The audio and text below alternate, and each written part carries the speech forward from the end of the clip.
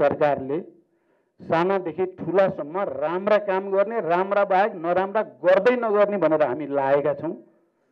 मलाई विश्वास छ सुशासनको निम्ति सामाजिक न्यायको निम्ति र समृद्धिको निम्ति हामीलाई सम्पूर्ण इमान्दार क्रान्तिकारीहरूको बुद्धिजीवीहरूको नागरिक समाजको र आम श्रमिक जनताको पनि साथ हुनेछ भन्ने म विश्वास व्यक्त गर्न चाहन्छु र अपिल पनि गर्न चाहन्छु। जटिलता त राजनीतिमा आइ नै राख्छन्। अहिले पनि छन्।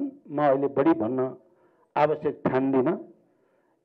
फेरि एकचोटि सुशासनको निम्ति हामी गम्भीर भएर दृढ अठोटका साथ अगाडि बढेका छौँ। सामाजिक न्याय र समृद्धिका निम्ति पनि हामी अगाडि बढेका छौँ। लामाजीलाई सम्झिँदै गर्दा उहाँको इमान्दारिता उहाँको पारदर्शिता उहाँको सरलता र उहाँको क्रान्ति निष्ठा हामीलाई अगाडि बढ्नको निम्ति निरन्तर प्रेरणा हुनेछ भन्ने विश्वाससहित फेरि उहाँप्रति श्रद्धा व्यक्त गर्दै बिदा हुन्छु।